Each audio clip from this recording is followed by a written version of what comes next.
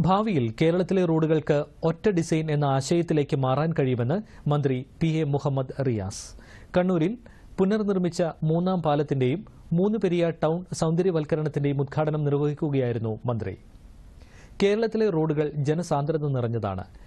ഇവ കാൽനട യാത്രക്കാർക്കും ബസ് യാത്രക്കാർക്കും സൌകര്യപ്രദമാകുന്ന രീതിയിൽ നിർമ്മിക്കുവാനാണ് സംസ്ഥാന സർക്കാർ ലക്ഷ്യമിടുന്നത് എന്നും മന്ത്രി പറഞ്ഞു.